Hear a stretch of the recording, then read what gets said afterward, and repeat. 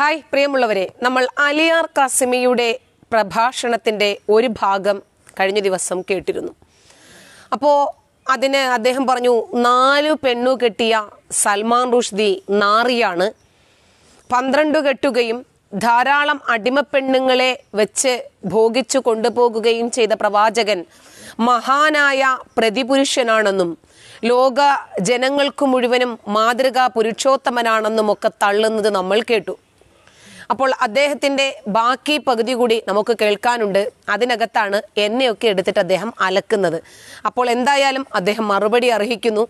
അദ്ദേഹം ഇപ്പോൾ ഈ കഴിഞ്ഞ കുറച്ച് നാളുകളായിട്ട് സോഷ്യൽ മീഡിയയിൽ കിടന്നിട്ട് യുക്തിവാദികളെയൊക്കെ പൊളിച്ചടുക്കലാണ്. യുക്തിവാദികളുടെയൊക്കെ പേടി സ്വപ്നമാണ് അലിയാർ കാസിമി അപ്പൊ അലിയാർ കാസിമിയെ കണ്ട് പേടിച്ച് വിറച്ചിട്ട് ഇപ്പൊ യുക്തിവാദികളൊന്നും ഇസ്ലാം മത വിമർശനം നടത്താറേ ഇല്ല.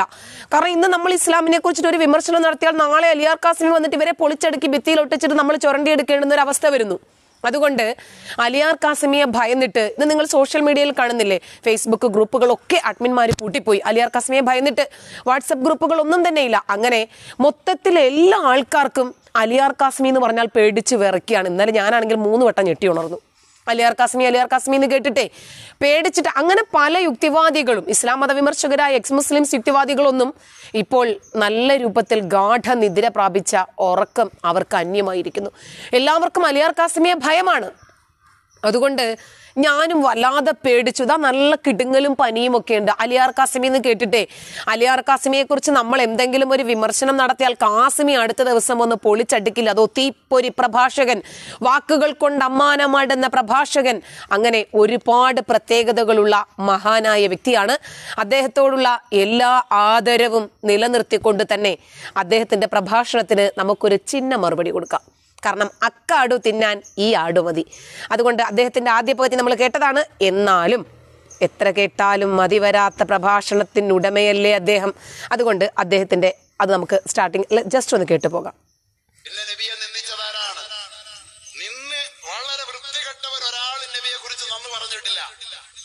പറയുകയില്ല. എപ്പോഴും കേട്ടോളൂ. നമ്മൾ പുതിയ സോഷ്യൽ മീഡിയയിലൂടെ രംഗത്ത് വരുന്ന ചില നാരീരത്നങ്ങളൊക്കെ ഉണ്ടല്ലോ. അവരുടെയൊക്കെ ജീവിതത്തെ കുറിച്ച് നിങ്ങളൊന്ന് വെറുതെ ബാക്ക്ഗ്രൗണ്ട് പഠിച്ചാൽ മതി. വേറൊന്നും വേണ്ട. അപ്പൊ തന്നെ മനസ്സിലായി. എന്തുകൊണ്ട് നബിയെ അവർക്ക് ഉൾക്കൊള്ളാൻ പറ്റുന്നില്ല? പറ്റില്ല. പരിശുദ്ധനെ ഇത്തരം വ്യക്തിത്വങ്ങൾക്ക് ഉൾക്കൊള്ളാൻ പറ്റുമോ അത് തന്നെയാണ് പ്രശ്നം. ാണ് നിന്നിച്ച ലോക ചരിത്രത്തിൽ പ്രസിദ്ധന. അവന്റെ സ്വഭാവം എന്താ? ഇദ്ദേഹത്തിന്റെ രണ്ട് ട്രോളുകൾ വളരെ വ്യക്തമാണ്. ഇദ്ദേഹം ഇസ്ലാമിന്റെ പ്ലാറ്റ്ഫോമിൽ നിന്നുകൊണ്ട് തന്നെ മുസ്ലിങ്ങൾക്ക് പണി കൊടുക്കല. ഒന്ന് പരിശുദ്ധനെ. അദ്ദേഹത്തിന് പറയാൻ പറ്റുമോ? പരമമ്ലേച്ഛനാണെന്ന് അദ്ദേഹത്തിന്റെ കൃത്യങ്ങൾ അറിയുന്നവർക്കറിയാം. അപ്പം അദ്ദേഹത്തിന് അത് സമ്മതിക്കാൻ പറ്റില്ലല്ലോ. അവിടെ നിൽക്കുകയും വേണം. കയ്യിലിരിക്കുന്ന കക്ഷത്തിലിരിക്കുന്ന പോകുകയും ചെയ്ത് ഉത്തരത്തിലിരിക്കുന്ന എടുക്കുകയും ചെയ്യണം. ഈ തന്ത്രമേ അദ്ദേഹത്തെ കൊണ്ട് പറ്റൂ. പിന്നെന്താണ്? മഹത്തായ സ്വഭാവ സവിശേഷതകൾ. ഞങ്ങളോടോ ബാല? ഇന്ത്യ ടുഡേ മുസ്ലിം വിരുദ്ധ മാസിക എന്നുള്ള നിലയിൽ അറിയപ്പെട്ട ഇന്ത്യ ടുഡേയിലാണ് ഞാൻ വായിച്ചത്. സൽമാൻ റുഷദി നാല് കെട്ടി നാല് പ്രബോധനം പോലെയുള്ള മാഗസിനുകളൊന്നും കുഴപ്പമില്ല. പക്ഷേ ഇസ്ലാം വിരുദ്ധ പ്രശ്നങ്ങളാണ്. ഇസ്ലാമിനെ താലോലിക്കുന്ന ഇസ്ലാമിന്റെ അപ്പോസ്തലന്മാർ എഴുതുന്ന പുസ്തകങ്ങൾക്കൊന്നും കുഴപ്പമില്ല.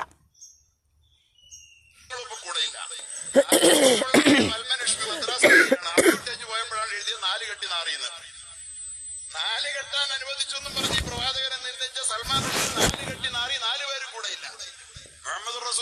ഈ കൈയില്ലാത്തവൻ വിരലില്ലാത്തവനെ കുറ്റം പറയാന്നൊക്കെ കേട്ടിട്ടില്ലേ? അതുപോലെ നാല് കെട്ടിയ സൽമാൻ റുഷ്ദി ലോകത്തൊരാൾക്കും മാതൃകയല്ല. അദ്ദേഹം ചെയ്തതുപോലെ ചെയ്യണം എന്ന് ലോകത്തൊരാളും പറഞ്ഞിട്ടില്ല. ഒരാൾക്കും ഒരു നിർബന്ധവുമില്ല. അദ്ദേഹം ആർക്കും മാതൃകയുമല്ല. അദ്ദേഹത്തിന്റെ ജീവിതം അങ്ങനെ തന്നെ പിൻപറ്റപ്പെടണം എന്ന ഒരു പ്രമാണ ഗ്രന്ഥങ്ങളുമില്ല. എന്നിട്ടും അദ്ദേഹത്തെ വെച്ചിട്ട് മുഹമ്മദ് നബിയെ കമ്പയർ ചെയ്യണമെങ്കിൽ ഇതിനകത്തൊന്നും ഉണ്ടാകരുതല്ലോ. ഇതുവരെ നമ്മൾ വിചാരിച്ചത് പതിനൊന്നെന്നായിരുന്നു. ഇദ്ദേഹം വന്ന് ഒന്നും കൂടെ ജമീല. എന്റെ പ്രിയപ്പെട്ട ഭാര്യമാരെ ഞാൻ തരുന്ന ജീവിത വിഭവങ്ങളിൽ നിങ്ങൾ തൃപ്തരല്ലെങ്കിൽ നിങ്ങൾ വന്നോളൂ. സ്നേഹപൂർവം കടന്നു വരൂ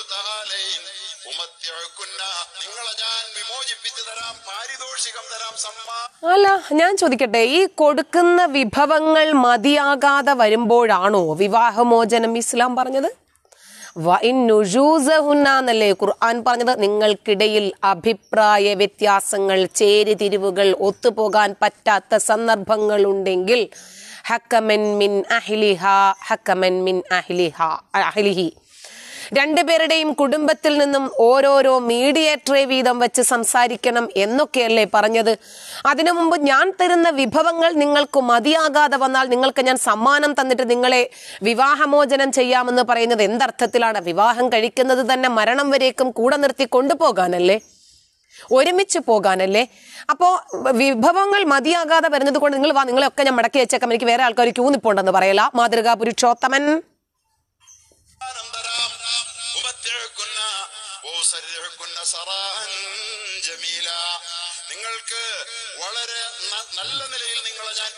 പിരിച്ചയച്ചു കൊള്ളാം എന്ന് പരിശുദ്ധ ഖുറാനിലൂടെ തന്റെ താൻ കെട്ടിയ എല്ലാ പെണ്ണുങ്ങളോടും പ്രവാചകൻ പറഞ്ഞിട്ട് ഒരു പെണ്ണ് പോലും അള്ളാന്റെ റസൂലിന് ഇട്ടു കാരണം എന്താണ് ഒരു പെണ്ണ് പോലും ഇട്ടിട്ട് പോകാൻ പാടില്ലാത്തത്? ഇവിടെ നിന്ന് പോയാൽ പോയി അത് അവസാനമല്ലേ? വേറൊരാളെ കെട്ടാൻ പാടില്ലല്ലോ. എല്ലാ വിശ്വാസികളുടെയും ഉമ്മയല്ലേ? മുഹമ്മദ് നബി ആണെങ്കിൽ വാപ്പയോട്ടായിട്ടുള്ള നബിക്ക് കെട്ടാം വിത്തുകളെയല്ലേ? ഇതാണ് നബിയും സൽമാൻ റുഷ്ദിയും തമ്മിലുള്ള വ്യത്യാസം. മുഹമ്മദ് നബിയും സൽമാൻ റുഷ്ദിയും തമ്മിൽ കമ്പയർ ചെയ്തതിൽ നിന്ന് തന്നെ ഇയാളുടെ വിവരക്കേട് നിങ്ങൾക്ക് മനസ്സിലായില്ലേ?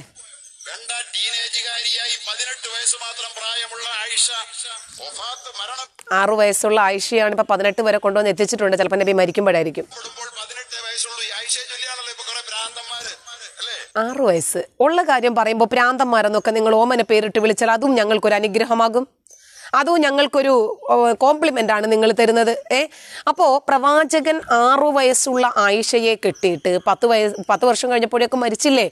അപ്പോൾ കണക്കിന് കാണുന്നു തോന്നുന്നില്ലേ? കണക്ക് പഠിപ്പിച്ച മാസ്റ്ററോട് എന്റെ ഒന്ന് സല്യൂട്ട് അടി അറിയിച്ചേക്കണേ. അപ്പോൾ പതിനാറ് വയസ്സ് കേട്ടാ. അപ്പോൾ മുഹമ്മദ് നബി മരിക്കുമ്പോൾ ആയിഷയ്ക്ക് എത്ര വയസ്സാണ്? പതിനാറ്. ചെറുപ്പത്തിൽ കെട്ടി. ഇന്നും ഞാൻ കണ്ടു ഞാൻ ഒരുത്തിന്റെ പോസ്റ്റ് ഒമ്പത് വയസ്സിൽ എന്നൊക്കെ പറഞ്ഞിട്ട്. ഉള്ളത് പറയുമ്പോഴേക്ക് എന്തിനാണ് ഞങ്ങളെ പ്രാന്തന്മാരാക്കുന്നത്? ആരാണ് പ്രാന്ത് പറയുന്നത് ആൾക്കാർക്ക് കണ്ടാൽ മനസ്സിലാകില്ല. നാല് കെട്ടിയവൻ നാറി പന്ത്രണ്ട് കെട്ടിയവൻ മഹാൻ. മനസ്സിലായില്ലേ? ഈ ഒമ്പത് വയസ്സിൽ തന്റെ ജീവിതത്തോട് ചേർന്ന ആയിഷയോടും പറഞ്ഞു. മോളെ എനിക്ക് ശേഷം ഇനി ഒരു വിവാഹമില്ല. അതുകൊണ്ട് വന്നോളൂ സമ്മാനം തന്നയക്കാമെന്ന് പറഞ്ഞിട്ട്. ഇതിനേക്കാൾ വലിയ ട്രോൾ ഇനിയും വേറെ ഉണ്ടോ? പതിനാറ് വയസ്സുള്ള ആയിഷയെ വിളിച്ചിട്ട് പറയണം ആയിഷ നീ വാ നിന്നെ വേണമെങ്കിൽ ഞാൻ വിവാഹം മോചനം നൽകിക്കൊള്ളാം. പക്ഷെ ഇനി നിനക്ക് കെട്ടാനൊന്നും പറ്റില്ല കേട്ടോ. എങ്ങനെയുണ്ട്? എങ്ങനെയുണ്ട്? അപ്പൊ ഇനി നിനക്ക് കെട്ടാനൊന്നും പറ്റില്ല. വേണമെങ്കിൽ ഞാൻ നിന്നെ ഒഴിവാക്കിയേക്കാം. അയ്യോ വേണ്ട. ഇങ്ങനെയെങ്കിലും ഉള്ളതിൽ പാതി. ഏ അങ്ങനെ അഡ്ജസ്റ്റ് ചെയ്ത് ജീവിക്കാന്നല്ല ഏതൊരു പെണ്ണും വിചാരിക്കുള്ളൂ. ഇദ്ദേഹം ഇസ്ലാമിനെ നല്ല പ്ലാറ്റ്ഫോമിൽ നിന്നുകൊണ്ട് ട്രോളുന്നത് തന്നെയാണെന്ന് ഒരു സംശയവുമില്ല. വിശ്വാസികൾ മനസ്സിലാക്കട്ടെ. ഈ ആയിഷയും പിരിഞ്ഞില്ലെന്നതോ പോകട്ടെ. അതിനുശേഷം അര നൂറ്റാണ്ട് കാലം വിധവയായി ജീവിച്ച ആയിഷ ഇതൊക്കെ ക്രെഡിറ്റ് ആയിട്ടാണ് പറയുന്നത്. കാരണം മുഹമ്മദ് നബി പതിനാറാമത്തെ വയസ്സിൽ മരിച്ചു ആയിഷയുടെ. ആ സമയത്ത് ആയിഷയാരും കെട്ടരുതെന്ന് ഖുർആാനിൽ ആയത്തും ഇറക്കി പഠിച്ചുവൻ. മുഹമ്മദ് നബിക്ക് സമാധാനമായി. എനിക്ക് ശേഷം ഇനി ഇവൾ ഞാനുമായിട്ടുള്ള ഓർമ്മകൾ അയവിറക്കി കൊണ്ട് കഴിഞ്ഞോളുമല്ലോ. തന്നെയുമല്ല എന്റെ മുപ്പത് പുരുഷന്റെ കുതിരശക്തിയുടെ കാര്യമൊന്നും ആയിഷയാരോടും പറയത്തൂല. ഇനി കഴിവ് കേടാണോ? അത് അറിയാതിരിക്കാൻ വേണ്ടിയിട്ടാണോ വേറെ കെട്ടണ്ടെന്ന് പറഞ്ഞെന്നുള്ളത് സെക്കൻഡറി അപ്പോൾ എന്നിട്ട് ക്രെഡിറ്റ് പോലെ പറയണം. അൻപത് വർഷക്കാലം മക്കളില്ല കുട്ടിയില്ല ഉമ്മയില്ല വാപ്പയില്ല ഭർത്താവില്ല സഹോദരങ്ങളില്ല. ആരുമില്ലാതെ ആ സ്ത്രീ മുഹമ്മദ് നബിയുടെ ഓർമ്മകൾ അയവിറക്കി ആഹാ സുന്ദരമായി ജീവിച്ചു പോയി എന്ന് പറയുന്ന ഈ മനുഷ്യന്റെ ഹൃദയം എത്രമാത്രം കടുത്തതാണ് എന്ന് ചിന്തിച്ചു നോക്കണം. ആ സ്ത്രീയുടെ ബാല്യവും ശൈശവവും ഈ കൗവം കൗമാരവും യൗവനവും ഒക്കെ നശിപ്പിച്ച് വാർദ്ധക്യവും ശാപം പിടിച്ച ഒരു ജന്മമാക്കി തീർത്ത മുഹമ്മദ് നബി അദ്ദേഹത്തെ വാഴ്ത്തുവാണ് ഇയാൾ. ഓക്കെ.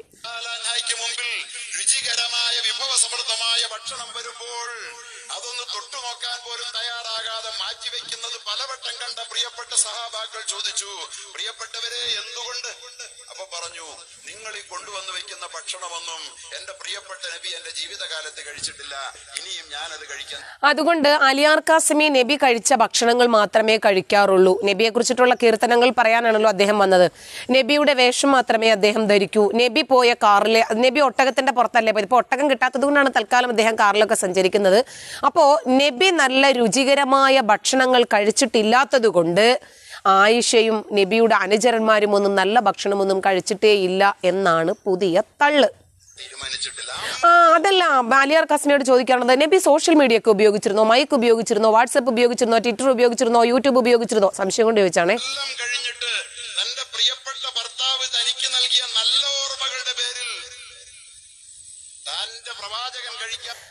ഭർത്താവ് നൽകിയത് നല്ല ഓർമ്മയാണ്.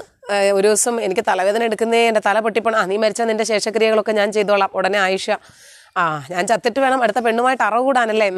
വേറെ പെണ്ണുങ്ങൾ വന്നിട്ട് ശരീരം ദാനം ചെയ്യാൻ വേണ്ടി നിൽക്കുന്ന കണ്ടോണ്ട് ആ പെണ്ണുങ്ങൾ എനിക്ക് വേറെ പണിയൊന്നുമില്ലേ ഏ ഏ മുഹമ്മദ് നബിക്ക് ശരീരം ദാനം ചെയ്യാൻ വന്ന് നിൽക്കാന്ന് പറഞ്ഞിട്ട് ട്രോളി കൊന്നുവിട്ട് പോയി. പിന്നെ മറ്റൊരിക്കൽ സ്ത്രീകളെയൊക്കെ നബിക്ക് ഇങ്ങനെ അനുവദിച്ചു കൊടുത്തുകൊണ്ട് ഖുറാനിൽ ആയത്തിറക്കി പറഞ്ഞ അല്ലെങ്കിലും പഠിച്ചു നിങ്ങളുടെ കാര്യം നോക്കിക്കൊണ്ടിരിക്കുന്ന ധൃതി പിടിച്ചവനല്ലേ? അതുകൊണ്ട് പഠിച്ചോ നിങ്ങളുടെ കാര്യത്തിൽ നിങ്ങൾ അതീവ ജാഗ്രതയാ എന്ന് പറഞ്ഞുകൊണ്ട് സഹീഹുൽ ബുഖാരിയിൽ ഹദീസുകളുണ്ട്. ഖുർആാനിന്റെ വ്യാഖ്യാന ഗ്രന്ഥങ്ങളിൽ അഖിലവും ഞാൻ ഈ പറഞ്ഞ ഹദീസുകളെല്ലാം ഉണ്ട് ഇല്ല എന്ന് തെളിയിച്ചാൽ ഉണ്ട് എന്ന് ഞാൻ തെളിയിക്കും പലപ്പോഴും ഞാൻ നിങ്ങളെ കാണിച്ചതായതുകൊണ്ടാണ് ആവർത്തന വിരസത ഒഴിവാക്കാൻ വേണ്ടിയിട്ട് ഞാൻ കാണിക്കാത്തത് കേട്ടോ. ഭക്ഷണം കഴിക്കില്ലെന്ന് തീരുമാനിച്ച ഈ ടീനേജുകാരിയെ ഈ നബി പീഡിപ്പിച്ചു എന്ന് പറയുന്ന ഭ്രാന്തനെ പറയുന്നത്? എന്താണ് പ്രാന്തല്ലേ യുക്തിവാദികൾ പറയുന്നത്? ഏ മുഹമ്മദ് നബി പീഡിപ്പിക്കൂ. ആറു വയസ്സുള്ള കുഞ്ഞിനെ കൊണ്ടുപോയി അദ്ദേഹം ഒമ്പതാമത്തെ വയസ്സിൽ വേഴ്ച നടത്തിയത് പീഡനം എന്നാൽ പറഞ്ഞു സമ്മതം. പരസ്പര സമ്മതം. ഭ്രാന്തന്റെ തൽക്കാലം പറയുന്നുള്ളൂ. മതി മതി. ഇവിടെ തൃപ്തിപ്പെട്ടു. ഒൻപത് വയസ്സുള്ള വലിയ ഒരു സ്ത്രീയെ ഒമ്പത് വയസ്സുള്ള സ്ത്രീയെ പരസ്പര സമ്മതത്തോടുകൂടി ലൈംഗിക വീഴ്ച നടത്തിയതിനെ ബാലപീഠനം എന്ന് പറയുന്ന ഈ യുക്തിവാദികളെ ഭ്രാന്തന്മാരെന്ന് മാത്രം പറഞ്ഞ് ഒഴിവാക്കിയ അലിയാർ കാസിമി മഹാനാണ്. സെക്ക രണ്ടാമത്തെ മഹാനെ. സെക്കൻഡാമത്തെ മഹാൻ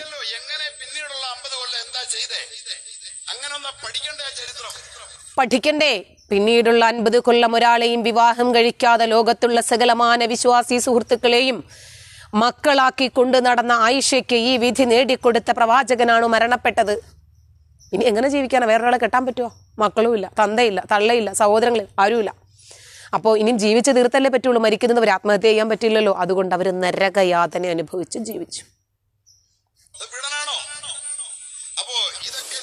അതാണ് ചോദ്യം. ഇത് പീഡനമാണോ? ആയിഷയോട് മുഹമ്മദ് നബി ചെയ്തത് ഒരു പീഡനമാണോ? അല്ലല്ലോ. സുന്നത്ത് അനുഷ്ഠിക്കാൻ പറഞ്ഞതാ. അതിനു മുമ്പാണെങ്കിൽ മുലകുടി ബന്ധത്തിലൂടെയെങ്കിൽ എല്ലാ ആൾക്കാരെയും വിളിച്ച് സഹോദരന്മാരും ആക്കി. ആയിഷ അനുഭവിച്ച യാതനെ.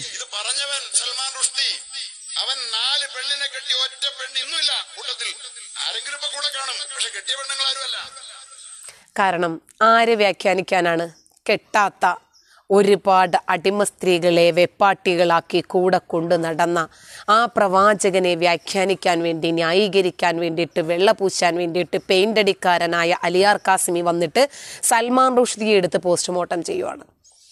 അപ്പോൾ സൽമാൻ റുഷ്ദി മാനവരിൽ മഹോന്നതനല്ല അലിയാർ കാസിമി സൽമാൻ റുഷ്ദി ചെയ്തതുപോലെ ചെയ്താൽ മാത്രമേ നിങ്ങൾ മുസ്ലിം ആകൂ എന്നില്ല അലിയാർ കാസിമി സൽമാൻ റുഷ്ദി ചെയ്ത എല്ലാ കാര്യങ്ങളും ഓരോ വിശ്വാസിയും ജീവിതത്തിൽ പകർത്തണം എന്ന ഒരു പ്രമാണ ഗ്രന്ഥമില്ല അലിയാർ കാസ്മി. അപ്പോൾ മുഹമ്മദ് നബി ചെയ്ത കൃത്യങ്ങൾ ഹദീസുകളും ഖുർആാനും പ്രമാണമാക്കി വെച്ചിട്ട് മുഹമ്മദ് നബി ചെയ്ത കാര്യങ്ങൾ പറയുമ്പോൾ നിങ്ങൾ സൽമാൻ റുഷ്ദി എടുത്ത് പോസ്റ്റ്മോർട്ടം ചെയ്യുന്നു. അപ്പോൾ ആരാണ് കേമൻ? എങ്ങനെ നോക്കിയാലും പന്ത്രണ്ട് കെട്ടി ധാരാളം വെപ്പാട്ടികളെയും കൂടെ വെച്ചുകൊണ്ടിരുന്നവനേക്കാൾ മഹാനാണ് സൽമാൻ റുഷ്ദി. ഒരാളുടെയും ജീവിതം അയാൾ നരകിപ്പിച്ചിട്ടില്ലല്ലോ. കൂടെ കഴിഞ്ഞു. യോജിപ്പില്ലെന്ന് തോന്നി. പൊയ്ക്കോ. അതല്ലേ മാന്യത? വിവാഹമോചനം ഒരു പുരോഗമന സമൂഹത്തിന്റെ ലക്ഷണമാണ്. അതല്ലാതെ കാലാകാലവും കെട്ടി എന്റെ കൂടെ തന്നെ നിന്നോ ഇനി ഒരാളെ നിനക്ക് കെട്ടാൻ പറ്റില്ല. എല്ലാ ആൾക്കാരും നിന്റെ മക്കളാണ് കേട്ടോ. എന്ന് പറഞ്ഞ മുഹമ്മദ് നബിയെ വെള്ളപൂശാനാണോ നിങ്ങൾ ഈ കാര്യവുമായിട്ട് വരുന്നത്? പിന്നെ നസ്രീനാണ് ഈ നസ്രീനെ ആഘോഷിക്കല്ലേ? കേരളത്തിലൊക്കെ തന്നെ ആഘോഷിച്ചല്ലോ നമ്മുടെ ജീർണിച്ച സംസ്കാരത്തിന്റെ ഉടമകൾ. പറയാതെ വയ്യ. അവരറിയണം ആരാണ് ഈ നബിയെ നിന്ദിക്കുന്നത്? വന്നിക്കുന്നത് ആരാ? വള്ളത്തോൾ. അപ്പൊ നെസ്രിൻ മുഹമ്മദ് നബിയെ നിന്ദിച്ചതുകൊണ്ട് അവരുടെ ജീവിതം തന്നെ പിഴച്ചുപോയി സംസ്കാരമില്ലാത്ത ജീവിതത്തിനുടമയായിരുന്നു മുഹമ്മദ് നബി ആണെങ്കിലോ സ്വസ്ഥമായി അദ്ദേഹത്തിന്റെ വളർത്തുമകനായ ജെയ്ദും അമ്മായിയുടെ മകൻ മകളായ സൈനബും സുന്ദരമായി ജീവിച്ചു വന്നു. ഒരു വർഷം പോലും ആ ദാമ്പത്യം നിലനിന്നില്ല. അതിനു മുമ്പ് ആ പെണ്ണിനെ കണ്ടപ്പോൾ കുരു പൊട്ടി. ഉടനെ തന്നെ അള്ളാഹു ആയത്തിറക്കി കൊടുത്തു. കെട്ടി. എന്ത് മഹാനാണ്. സുഹൃത്ത് കൂടെ നടന്നു അബൂബക്കർ. പെട്ടെന്നൊരു ദിവസം ആയിഷയെ ഇതുപോലെ കണ്ട് കുരുപൊട്ടിയതായിരിക്കും. അബൂബക്കറെ എന്റെ മോളെ എനിക്ക് കെട്ടിച്ചേരണം. അമ്പത്തിമൂന്ന് വയസ്സുകാരൻ. പോളെന്ന് നമ്മൾ സഹോദരങ്ങളല്ലേ? ചുമ്മാ ഇരി. അങ്ങനൊന്നും പറയല്ലേ? ഇങ്ങനെ ഇതിനാണോ ഞാൻ നിന്നെ വീട്ടിൽ കയറ്റിയത്? അല്ല കുഴപ്പമില്ല. നമ്മൾ സഹോദരങ്ങളൊക്കെ തന്നെയാണെങ്കിൽ ആയിഷ എനിക്ക് അനുവദനീയമാണ്. ഏ നടക്കില്ല. പോയിക്കോ പോയിക്കോ പോയിക്കോ. അടുത്ത ദിവസം അബൂബക്കറെ ഞാൻ ഒരു സ്വപ്നം കണ്ടു. എന്തേ? പട്ടിൽ പൊതിഞ്ഞ ഒരു പെണ്ണിനെ അള്ളാഹു എനിക്ക് കാണിച്ചു തന്നു. എന്നിട്ട് പറഞ്ഞു തുണിയൊന്ന് മാറ്റി നോക്കാൻ. ഓഹ് മുഖത്തെ തുണി അങ്ങോട്ട് നീക്കി നോക്കിയപ്പോൾ നിന്റെ മോൾ ആയിഷയാ. അള്ളാഹു അത് ആഗ്രഹിക്കുന്നു. അബൂബക്കറെ ഉടനെ അബൂബക്കർ ഭക്തനല്ലേ? കെട്ടിച്ചു കൊടുത്തു. ഇതൊക്കെ ചെയ്ത ആൾ മഹാൻ സമ്മതിച്ചിരിക്കുന്നു. പിതാവും ഭർത്താവും മാതാപിതാക്കൾ സഹോദരങ്ങൾ ഒക്കെ ഉണ്ടായിരുന്ന സൊഫിയ സുന്ദരമായൊരു വേറൊരു ഗോത്രത്തിൽ ജീവിച്ചു വന്നു ഹൈബർ അവിടെ കയറി അവിടെ കെട്ടിയവനെ ആദ്യം അലക്കി കിനാന ഒരു ഒരു ഗോത്രത്തിന്റെ തലവനായിരുന്നു. സമ്പത്ത് സൂക്ഷിപ്പുകാരനായിരുന്നു. കൊട്ടാരം മുതലൊക്കെ സൂക്ഷിക്കുന്നത് അയാളായിരുന്നു. അയാളെ അലക്കി. എന്നിട്ട് ആ ചോരയിൽ കൂടി ഈ പെണ്ണുമ്പിള്ള നടത്തി കൊണ്ടുവന്നു സൊഫിയയെ. എന്നിട്ട് നാട്ടിലെത്തുന്നതിന് മുമ്പ് തന്നെ പാതി വഴിക്ക് വെച്ച് തന്നെ അറ കൂടി. ഇരിക്കാൻ പോലും അവസരം കൊടുത്തില്ല. ഭർത്താവും പിതാവിനെയും ഒക്കെ കൊന്നിട്ട്. ഒരു അനുശോചനത്തിന് പോലും സമയം കൊടുത്തില്ല. അദ്ദേഹം എന്ത് നല്ലവൻ. അദ്ദേഹത്തെക്കുറിച്ച് പറഞ്ഞവരൊക്കെ ഭ്രാന്തന്മാർ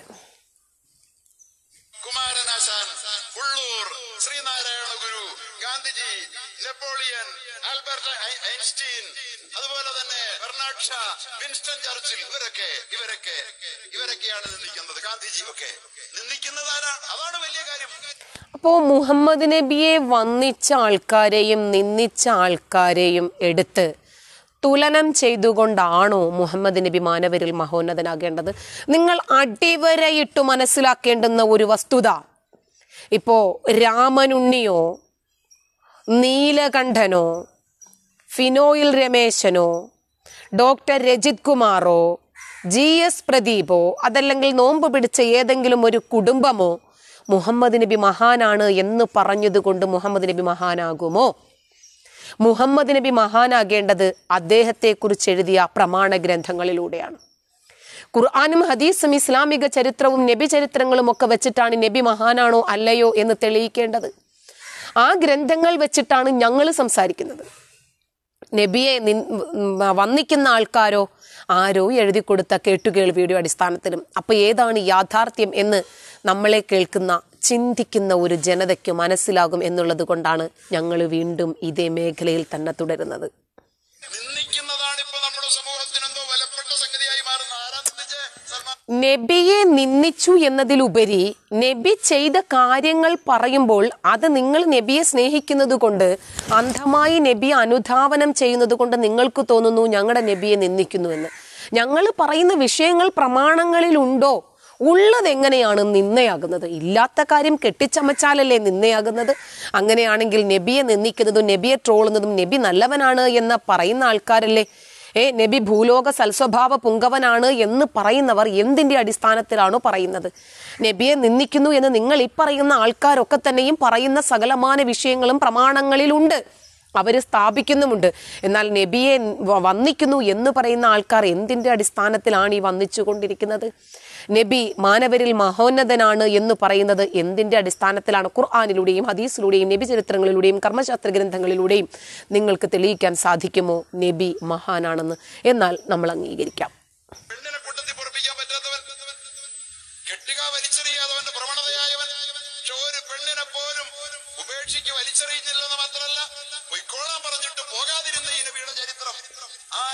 അപ്പൊ പോകാൻ പറഞ്ഞിട്ട് പോകാത്ത നബിയുടെ ഭാര്യമാർ പോയിട്ട് എന്ത് ചെയ്യും? വേറെ കെട്ടരുത് എന്ന് പറഞ്ഞ് പടിയടച്ച് പിണ്ടം വെച്ചിട്ടല്ലേ വിടുന്നത്?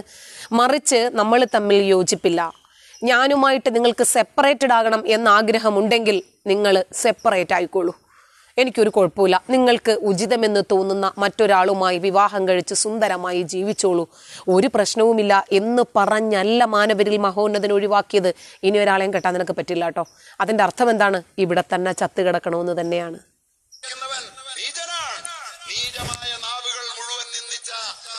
മരണം വരേക്കും മുഹമ്മദ് നബിയുടെ കൂടെ ധാരാളം അടിമപ്പെണ്ണുങ്ങൾ ഉണ്ടായിരുന്നു.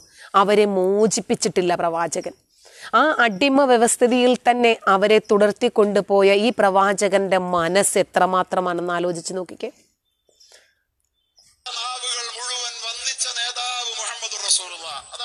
നേതാക്കൾ വന്നിച്ചതുകൊണ്ട് ഈ ലോകം മുഴുവനും മുഹമ്മദ് നബിയെ വന്നിക്കുന്നു എന്ന് തന്നെ ഇരിക്കട്ടെ. നബി ഒരിക്കലും മഹാനാകുന്നില്ല. നബി മഹാനാകേണ്ടത് ഇസ്ലാമിക പ്രമാണങ്ങളിലൂടെയാണ്. ഈ ലോകം മുഴുവനും ഞങ്ങൾ ഒന്നോ രണ്ടോ വിരലിലെണ്ണാവുന്ന യുക്തിവാദികൾ ഒഴികെ ബാക്കി എല്ലാ ആൾക്കാരും ഒരേ സ്വരത്തിൽ പറയുന്നു നബി മഹാനാണെന്ന്. അവരുടെ വാക്കുകൾക്ക് പുല്ല് വിലയേ ഉള്ളൂ ഇസ്ലാമിക ഗ്രന്ഥങ്ങളിൽ. ഇസ്ലാമിക ഗ്രന്ഥങ്ങൾ വെച്ചിട്ട് ഖുർആൻ വെച്ചിട്ട് ഹദീസുകൾ വെച്ചിട്ട് നബിയുടെ ജീവചരിത്രങ്ങളാകുന്ന സുന്നത്തുകൾ വെച്ചിട്ട് മുഹമ്മദ് നബി മഹാനാണ് എന്ന് തെളിയിക്കലാണ് നിങ്ങൾ ചെയ്യേണ്ടത്.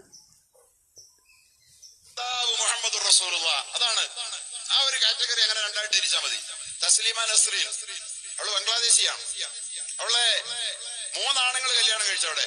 എത്ര ഭർത്താക്കന്മാർ ഇപ്പൊ കൂട്ടത്തിലുണ്ടെന്ന് അന്വേഷിച്ചു നോക്കണം. തസ്ലിമ നസ്രിനോ അതുപോലെ സൽമാൻ റുഷ്ദിയോ ഒന്നും ഇസ്ലാമിന്റെ പ്രമാണങ്ങളല്ല. അവർ ചെയ്തതുപോലെ ലോകത്ത് ഒരാളും ചെയ്യേണ്ട കാര്യമില്ല. അതുപോലെയല്ല മുഹമ്മദ് നബി. എക്കാലത്തേക്കുമുള്ള മാതൃകാ പുരുഷനാണെന്നും പ്രവാചകന്റെ ജീവിതത്തിൽ ഏതൊരു വിശ്വാസിക്കും ഉൾക്കൊള്ളാൻ സാധിക്കുന്നതും മാത്രമേ ഉള്ളൂ എന്നും പറയുന്നത് കൊണ്ടാണ് മുഹമ്മദ് നബി വിമർശിക്കപ്പെടുന്നത്. മൂന്ന് കല്യാണം കഴിച്ചു. ആദ്യം ഒരു കല്യാണം കഴിച്ചു യോജിപ്പില്ല ഡിവോഴ്സ്ഡായി. അടുത്തൊരു കല്യാണം കഴിച്ചു യോജിപ്പില്ല ഡിവോഴ്സ്ഡായി. അത് തന്നെയല്ലേ മാന്യത? അതല്ലാതെ ഒരു കല്യാണം കഴിച്ചു അതുകൊണ്ട് മരണം വരേക്കും യോജിപ്പില്ലെങ്കിലും അങ്ങനെ കരഞ്ഞും മാനസിക സമ്മർദ്ദം അനുഭവിച്ചുമൊക്കെ അങ്ങനെ തന്നെ തുടർന്ന് കൊണ്ടുപോകണം എന്ന് പറയുന്നതിലെ ലോജിക്ക് എന്താണ്? രണ്ടുപേരുടെയും ജീവിതങ്ങൾ അതുകൊണ്ട് തകരുകയല്ലേ ചെയ്യുന്നത്? യോജിപ്പുള്ളവർ ഒരുമിച്ച് ജീവിക്കട്ടെ. യോജിപ്പില്ലെങ്കിൽ അവർ സെപ്പറേറ്റ് ആകട്ടെ. അത് തന്നെയല്ലേ ഒരു മാനവികത? അത് തന്നെയല്ലേ പരസ്പരമുള്ള അംഗീകാരം?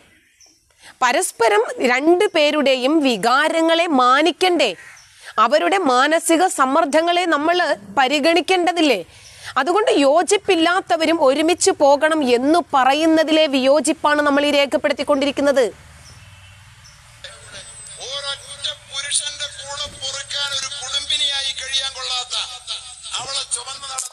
ഒരു പുരുഷന്റെ കൂടെ മാത്രം ജീവിക്കണം എന്നെന്താണ് നിർബന്ധം?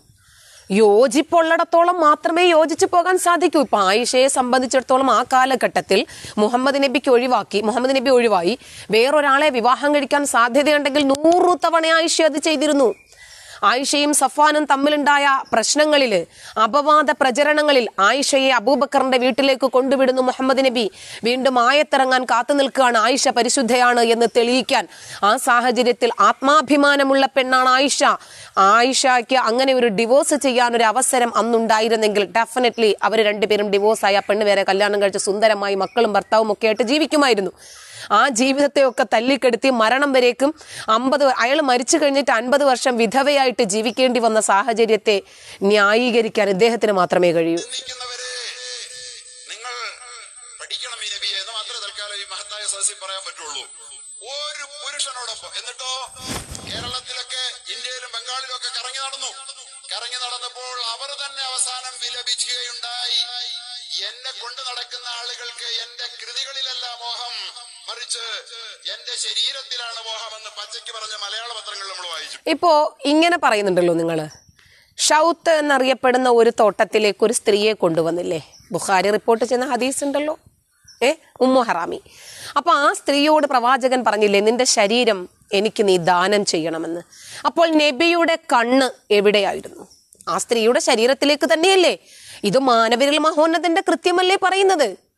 തസ്ലിമ നസ്രിനോ സൽമാൻ റുഷ്ദിക്കോ അങ്ങനെ ഉണ്ടെങ്കിലും ഒരു പ്രശ്നവുമില്ല. ഒരാളും പിൻപറ്റണ്ട. ഓരോ മനുഷ്യനും നല്ലത് എന്ന് തോന്നുന്നത് പിൻപറ്റിയാൽ മതി. മുഹമ്മദ് നബി അങ്ങനെയാണോ? സെയ്ദ് എന്ന് പറയുന്ന വളർത്തുമകനെ അന്വേഷിച്ചുകൊണ്ട് സൈനബിന്റെ വീട്ടിലേക്ക് ചെല്ലുന്നു. സുഗന്ധദ്രവ്യം പൊടിച്ചുകൊണ്ടിരുന്ന ആ പെണ്ണിന്റെ തുണിയൊന്നും മാറിയപ്പോൾ ഏതോ ഒരു ഭാഗം കണ്ട് കുരു പൊട്ടി ഉടനെ തന്നെ അവനെ കൊണ്ട് അവളെ ഒഴിവാക്കിപ്പിക്കുന്നു. എന്നിട്ട് വേറെ കെട്ടുന്നു. മാനവരിൽ മഹോന്നതന്റെ ഇത്തരം കൃത്യങ്ങൾ എടുത്തു പറയുമ്പോൾ ആ പറയുന്ന വ്യക്തികളുടെ വ്യക്തിജീവിതം പോസ്റ്റ്മോർട്ടം ചെയ്യുന്നത് കൊണ്ട് നിങ്ങളുടെ പ്രവാചകൻ കൂടുതൽ അപമാനിക്കപ്പെടുകയുള്ളൂ മാനവരിൽ മഹോന്നതനായതുകൊണ്ട്. ഈ തസ്ലീമ നസ്രീൻ നബി അംഗീകരിക്കുമോ ഈ നസ്രീൻ തസ്ലീമയ്ക്ക് നബി പ്രിയപ്പെട്ടവനാകുമോ ജാമിത. ആ പേര് പറയാൻ കൊള്ളൂലെങ്കിൽ പോലും ഞാനൊന്ന് പറയട്ടെ? പരിചയപ്പെടാൻ വേണ്ടി പറയാം. ജാമിതയ്ക്ക് നബിയെ പിടിച്ച പിന്നെ നബി എന്തിനുള്ള ജാമിതയ്ക്ക് വയസ്സ് മുപ്പത്തിമൂന്നേ ഉള്ളൂ. നബിയും ഖദീജയും തമ്മിലുള്ള വിവാഹത്തിൽ പതിനഞ്ച് വയസ്സിന്റെ അന്തരം ഉണ്ടെന്നുള്ളൊക്കെ സങ്കടം പറഞ്ഞവൾ. അവൾ എഴുപത്തിനാല് വയസ്സുള്ള ഇന്നലത്തെ പഴയ യുക്തിവാദിയുമായി കല്യാണം ആലോചിച്ചു പോയ കഥ പുറത്തു വന്നില്ലേ? മുപ്പത്തിമൂന്ന് വയസ്സുള്ളൂ എഴുപത്തിനാലുകാരൻ അള്ള പപ്പ തന്നെ നബിയെ നിന്ദിച്ചവർക്ക് ചിന്തിക്കുന്നവർ അതാണ് കാര്യം. പണ്ടൊക്കെ പിന്നെ പിന്നെയായിരുന്നു. ഇന്ന് പാടത്തു ജോലിയും വരമ്പത്തു കൂലിയുമാണ്. രണ്ട് പ്രായപൂർത്തിയായ വ്യക്തികൾ തമ്മിലുള്ള വിവാഹം പോലെയാണോ? അൻപത്തിമൂന്ന് വയസ്സുകാരനും ആറു വയസ്സുകാരിയും തമ്മിലുള്ള വിവാഹം? തൊപ്പി വെച്ചപ്പോൾ അലിയാർ കാസിമിക്ക് സൂര്യപ്രകാശം ഒന്നും അടിക്കാത്തത് കൊണ്ടേ തലയ്ക്കകത്ത് ലെവൽ പോയെന്ന് തോന്നുന്നു. അതല്ലെങ്കിൽ വന്ന വഴിക്ക് തല എവിടെയെങ്കിലും മുട്ടിക്കാണും. രണ്ട് ഇന്ത്യൻ നിയമപ്രകാരം രണ്ട് പ്രായപൂർത്തിയായ വ്യക്തികൾ വിവാഹം കഴിക്കാൻ തീരുമാനിക്കുന്നു. ഇവർ രണ്ടു പേരും മാതൃകകളല്ല. ലോകത്തിൽ ഒരു പുൽക്കൊടിക്ക് പോലും. അപ്പോൾ മാനവരിൽ മഹോന്നതനായ മുഹമ്മദ് നബി അമ്പത്തിമൂന്ന് വയസ്സുള്ളപ്പോൾ ആറു വയസ്സുള്ള കളിപ്പാട്ടം വെച്ച് കളിക്കുന്ന കല്യാണത്തെക്കുറിച്ച് ചിന്തിക്കാൻ പോലും ദാമ്പത്യ ജീവിതത്തെക്കുറിച്ച് ചിന്തിക്കാൻ പോലും പാകമല്ലാതിരുന്ന ആ ബാലികയെ വിവാഹം കഴിച്ചതിനെ പ്രായപൂർത്തിയായ മുപ്പത്തിമൂന്നും എഴുപത്തി അഞ്ചായിക്കോട്ടെ എൺപതായിക്കോട്ടെ നൂറായിക്കോട്ടെ വയസ്സ് പ്രായമുള്ള രണ്ട് വ്യക്തികൾ തമ്മിലുള്ള വിവാഹത്തെ വിമർശിക്കാനുള്ള യോഗ്യത നിങ്ങൾക്ക് മാത്രമേ ഉള്ളൂ. കാരണം മദ്രസ ബുദ്ധിയല്ലേ നമുക്ക്.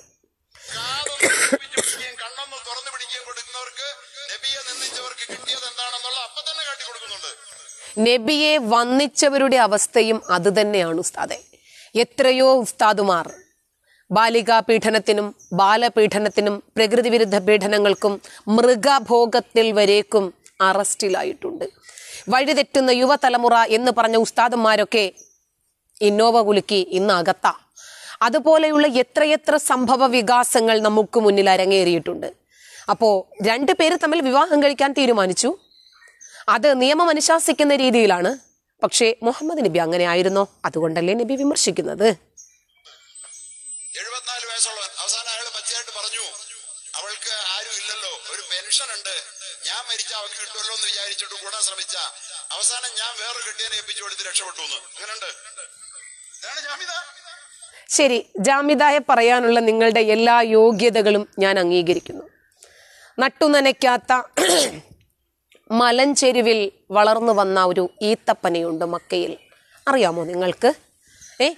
തന്തയും തള്ളയും ഇല്ലാതെ സംരക്ഷിക്കുന്ന ആൾക്കാരൊക്കെ ബുദ്ധിമുട്ടി ഒടുവിൽ ആരോരും സംരക്ഷിക്കാനില്ലാതെ മക്കാർ തലയ്ക്കു തട്ടി വളർന്ന ഒരു ഈത്തപ്പന മരം. ആ ഈത്തപ്പന മരം വളർന്ന് പടർന്ന് പന്തലിച്ചപ്പോൾ മക്കയിലെ കുറേശി ഗോത്രക്കാരിയായ അതീവ സമ്പന്നയും തറവാടിയും സുന്ദരിയും പ്രൗഢഗംഭീരമായ വ്യക്തിത്വത്തിനുടമയുമായ ഒരു സ്ത്രീയെ നോട്ടമിടുന്നു. അങ്ങനെ ആ സ്ത്രീയുമായി അടുക്കാനുള്ള അവസരങ്ങൾ മനഃപൂർവം ക്രിയേറ്റ് ചെയ്യുന്നു. ആ ഫോം ചെയ്തതിൽ ആ സ്ത്രീ വീഴുന്നു. ആ സ്ത്രീയുമായി വിവാഹബന്ധം നടത്തുന്നു. ഒന്നുമില്ലാതിരുന്ന ഓട്ടക്കാലണയായ പ്രവാചകനാണെന്ന് കൂടി ഓർക്കണം നായി ഈത്തപ്പന വിവാഹം കഴിച്ച ശേഷം ഈ സമ്പത്തെല്ലാം എന്റേതാണ് എന്ന് ഡിക്ലെയർ ചെയ്യാൻ ഖദീജയോട് പറയുന്നു. ഖദീജ അന്ന് എഴുത്തുകുത്തുകളൊന്നും ഇല്ലാതിരുന്നതുകൊണ്ട് എന്റെ സമ്പത്തെല്ലാം ഇന്നു മുതൽ മുഹമ്മദിന്റെതാണ് എന്ന് പ്രഖ്യാപിക്കുന്നു. എന്ത് കണ്ണോടുകൂടിയാണ് പെണ്ണും പണവും അധികാരവും പ്രശസ്തിയും മാത്രം സ്വന്തമായി ലഭിക്കണം എന്ന സ്വാർത്ഥ താല്പര്യം മാത്രം കാത്തുസൂക്ഷിച്ച ഒരു പ്രവാചകനെ ന്യായീകരിക്കാൻ കേവലം ഒരു ജാമിതായെ എടുക്കണമെങ്കിൽ നിങ്ങൾക്ക് പ്രവാചകനെ ന്യായീകരിക്കാൻ സാധിക്കാത്തത് കൊണ്ടാണ്. വിമർശനങ്ങൾക്ക് ഉത്തരം നൽകാൻ സാധിക്കാത്തത് കൊണ്ടാണ്.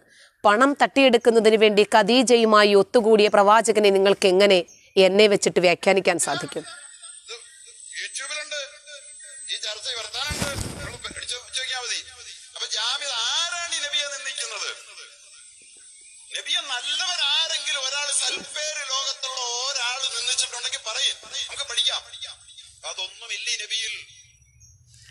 നബിയുടെ നല്ല സ്വഭാവ സവിശേഷതകൾ നമ്മൾ മനസ്സിലാക്കേണ്ടത് കേവലം ഇന്ന ആൾ പറഞ്ഞു അവർ പറഞ്ഞു ഇവർ പറഞ്ഞു മൈക്കിൾ ചാർട്ട് പറഞ്ഞു അല്ലെങ്കിൽ ഗോവിന്ദച്ചാമി പറഞ്ഞു ഗുർമീത് റാം റഹീം സിംഗ് പറഞ്ഞു എന്നുള്ളത് കൊണ്ടല്ല. ലോകത്തിനും എത്ര സുസമ്മതനായ ആൾ പറഞ്ഞാലും മുഹമ്മദ് നബി മഹാനാകണമെങ്കിൽ പ്രാമാണികമായി തെളിയിക്കണം. അപ്പോൾ നമുക്കിനി വീണ്ടും കാണാം. നന്ദി.